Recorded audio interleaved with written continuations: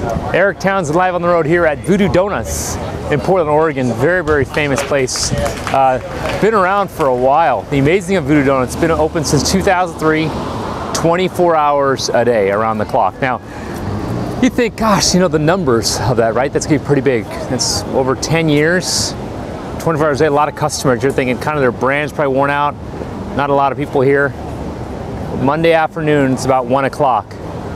Take a look at how people are here. Take a look at those numbers.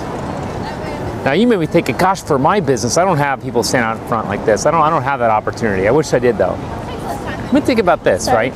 Your systems you have today, those three-year-old systems that are out there in your customer environment, those four-year-old systems that are out there, there's a lot of them out there, right? And from your customer's perspective, they may not know this, but it's 1.3 times more costs to actually go through and, and have those systems running.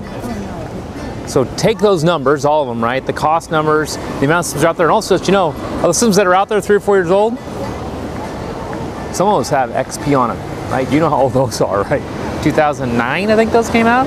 So think about this. First of all, come to Portland, got to go to Voodoo Donuts, really cool. Long lines though. Second thing is the amount of customers you have available to you is a lot more that's in this line today. So make sure you think about the numbers, what are the opportunities for you? Live on the road, Eric Townsend here in Portland, Oregon.